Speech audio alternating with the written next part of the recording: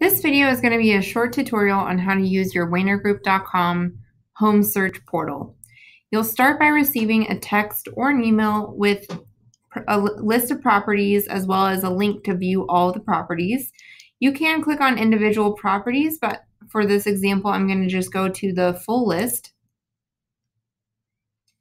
And as you open up that website, it will show you all of the homes that your agent has sent to you in gallery format. You can also click and view in map format, which I find very helpful.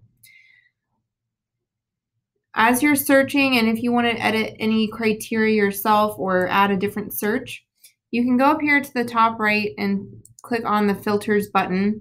And here you can search by area, which I will cl click for Phoenix, and as well as all the different sizes of homes, price ranges, um, year, the year it was built, the type of property.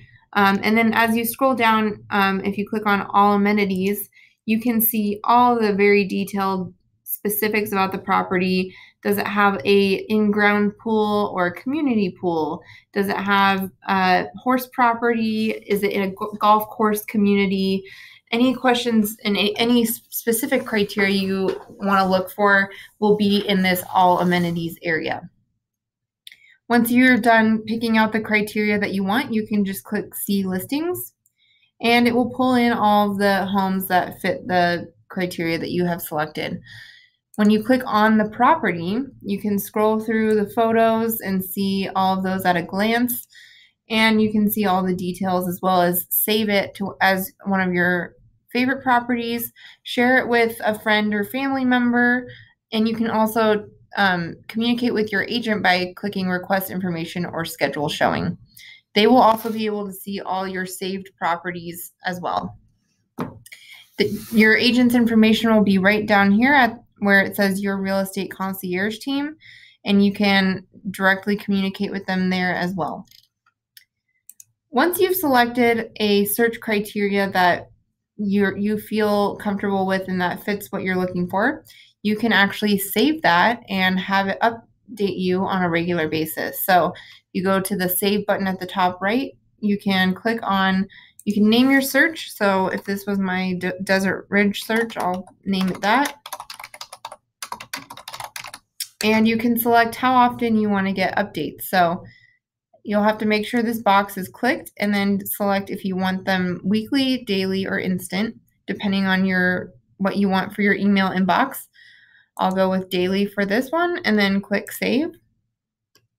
And now I have a saved search and you can do as many or as few as, of those as you would like. To see your saved searches and your saved properties, you'll go up to the top menu button, go to my profile, and here you can see um, your email address to make sure that it's on the searches are going to the right email address. And you can see all your saved searches. So, and you can edit them with this little gear icon. Also, all of your favorited properties will show up down here at the bottom, as well as your agent can see both your saved search and your favorited properties. So they can edit that for you and help you set up any saved searches you would like. And if you have any questions, just feel free to reach out to your agent and they'll be happy to help you.